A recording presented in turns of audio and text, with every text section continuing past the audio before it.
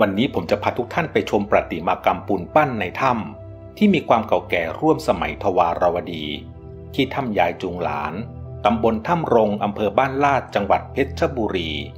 ผมตั้งพิกัดไปที่วัดถ้ำเขาน้อยเกสโรถ้ำแห่งนี้จะอยู่เชิงเขาลูกติเตี้ยหน้าวัดครับ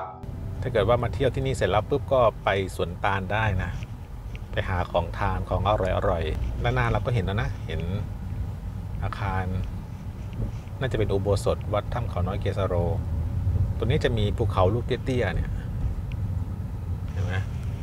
ตรงนี้แหละ ถ้าเกิดว่าเข้าวัดนี่เลี้ยวซ้าย แต่เราจะไม่เข้าวัดนะ เราจะไปทางขวาเนี่ยผ่านหน้าวัดตรงนี้นะเนี่ยหน้าวัดถ้ำเขาน้อยเกสโรเนี่ยเลี้ยวขวามาเนี่ยจะอยู่ตรงเนี้ยจะอยู่มุมนี้แหละ เชิงเขาตรงนี้จะผมจะหาที่จอดรถนะจะแทรกตัวตรงนี้นะแทรก เอารถไว้ตรงนี้แหละ นี่ ชิดริมถนนเข้ามา ถ้ำยายจุงหลานจะอยู่เชิงเขาลูกนี้ ซึ่งน่าจะเคยเป็นวิหารถ้ำในพระพุทธศาสนา การใช้ถ้ำเป็นศาสนสถานเป็นการสืบทอดมาจากอินเดียเมื่อกว่าพันปีก่อน จึงปรากฏร่องรอยโบราณคดีที่เขาแห่งนี้นี่นะครับ ตรงนี้จะเป็นภูเขาเป็นลูกเตี้ยๆ จะมีช่องถ้ำด้านบนตรงนี้เราจะขึ้นไปกัน จะมีประติมากรรมปูนปั้น เก่าแก่เป็นพันปีเลยนะครับ หลายท่านอาจจะไม่เคยรู้ เพราะว่าป้ายมันล้มอยู่นี่นะที่จริงแล้วมีป้ายถ้ำยายจุงหลาน ค่อยๆให้เดินเรียบมาตรงเชิงเขาตรงนี้ไต่ขึ้นมา นี่ครับจะเห็นช่องถ้ำแล้วนะ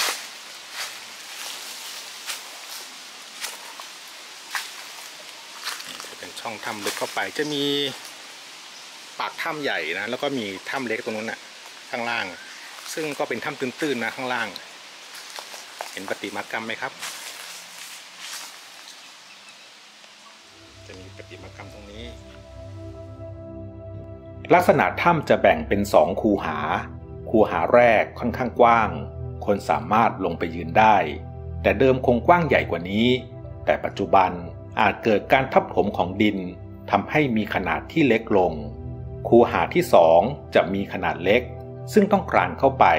ลักษณะเป็นถ้ำตื้นๆ ลึกเข้าไปประมาณ 5 เมตร การสำรวจของกรมศิลปากรได้ระบุว่า มีการพบหินขนาดใหญ่ที่พื้นถ้ำมีลักษณะเนื้อหยาบ มีเมล็ดแกลบปะปนอยู่จำนวนมาก ซึ่งเป็นลักษณะอิฐที่พบมากในสมัยทวารวดี โอ้โหปุ่นปั้นยังชัดเจนอยู่เลยนะ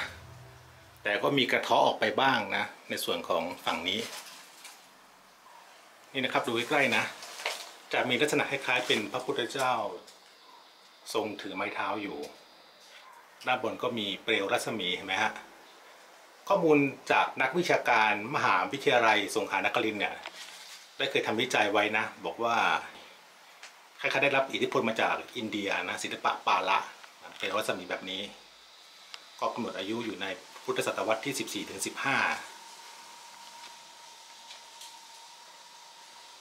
ยังมีสีแดงสดอยู่เลยนะครับ ลักษณะเหมือนถือไม้เท้า แล้วก็มีรูปบุคคลสองคนตรงนี้ บุคคลหนึ่งก็น่าจะมีอายุน้อยกว่านะเขาเขาก็เลยแบบคิดว่าเป็นยายจุงหลานน่ะนะ แต่ทีนี้ถ้าเกิดว่ามาดูใกล้ๆเนี่ยก็มีคนให้ข้อสังเกตว่า บุคคลที่สูงกว่าเนี่ยจะมีสายโยงคล้ายๆเป็นนักบวชนะเห็นไหมครับสายโยงที่ไหล่ซ้ายพาดลงมา มีสายโยงนะ ก็จะพบในปฏิมากรรมเทวรูปแล้วก็พระโพธิสัตว์ด้วยนะครับ ด้านบนก็มีเหมือนกันตรงนี้ ตรงนี้ก็มีเปลวรัศมีนะ แต่ปูนปั้นนี่กระเทาะออกไปหมดแล้ว ทีนี้มองเหนือขึ้นไป จะมีประติมากรรมตรงนี้เป็นรูปเทวดานะนี่ครับยืนพนมมือ เป็นเทวดาลอยนะลอยเหนืออันบนแล้วก็พนมมือ เป็นการถวายสักการะปฏิมากรรมในถ้ำประกอบไปด้วย พระพุทธเจ้าประทับยืน ครองจีวรเฉียง ลักษณะถือไม้เท้า มีประพามณฑลเหนือพระเศียร และมีเปลวรัศมีเป็นเปลวเพลิง ลักษณะนี้พบในปฏิมากรรมสมัยทวารวดี เช่น พบที่เมืองโบราณอู่ทองสุพรรณบุรี ซึ่งปรากฏในศิลปะอินเดียแบบปาละ ราวพุทธศตวรรษที่ 14 ปฏิมากรรมบุคคลสองคน ลักษณะคล้ายการจูงมือ จึงเป็นที่มาของชื่อถ้ำยายจุงหลาน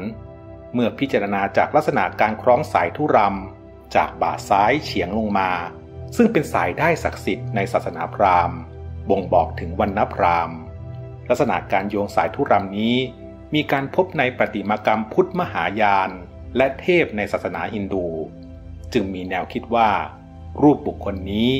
น่าจะเป็นพระโพธิสัตว์ แต่กรมศิลปากรสันนิษฐานว่า น่าจะเป็นเรื่องราวเกี่ยวเนื่องในพุทธประวัติ เมื่อครั้งที่พระพุทธเจ้าตรัสรู้แล้วเสด็จกลับกรุงกบิลพัทนอกจากนี้เหนือขึ้นไปมีประติมากรรมเทพพนม และยังพบร่องรอยประติมากรรมเปลวรัศมี แต่องค์ประกอบประติมากรรมได้แตกหลุดร่วงไปทั้งหมด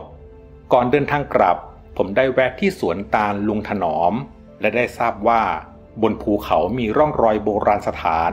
แต่ยังไม่มีการสำรวจอย่างจริงจัง ซึ่งอาจจะมีความเกี่ยวเนื่องกับวิหารถ้ำแห่งนี้ ชาวบ้านเรียกกันว่า ลานลั่นทม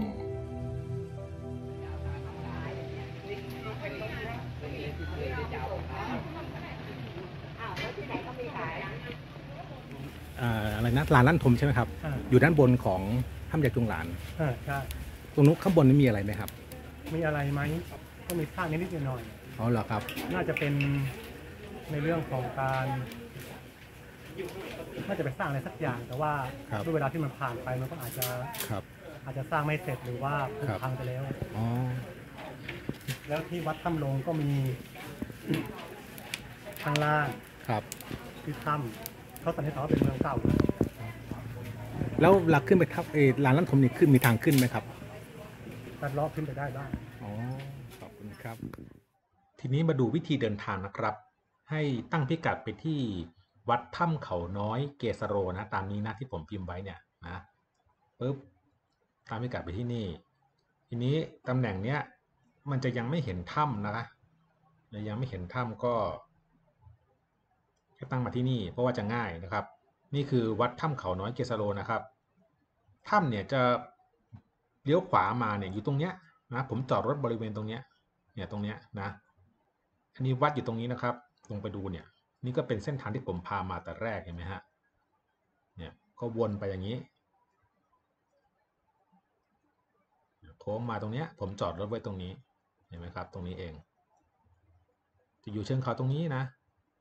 เนี่ยจะมีป้ายติดไว้อยู่ว่า ชื่อว่าถ้ำยายจุงหลานเนี่ยจะอยู่ในเนี้ยไม่ได้สูงนะครับ เนี่ยอยู่เชิงเขาตรงนี้ มาจอดรถไว้ตรงนี้ก็ได้ลิงไม่ค่อยมีอะ แต่มีลิงอยู่นะ แต่ลิงมันไม่ดื้อไม่สนอะหรือว่าจะไปจอดรถไว้ที่ที่วัดก็ได้แล้วเดินมานะเนี่ยก็เดินมานิดเดียวนะตำแหน่งเนี้ยเดินมานิดเดียวเองนะแล้วก็หลังจากเที่ยวนี้เสร็จแล้วนะ ให้ขับไปต่อนะไปที่สวนตางลุงถนอมนะไปหาของอร่อยอร่อยทานนะมีคาเฟ่ด้วยมีผลิตภัณฑ์จากตาลอะอร่อยดีครับ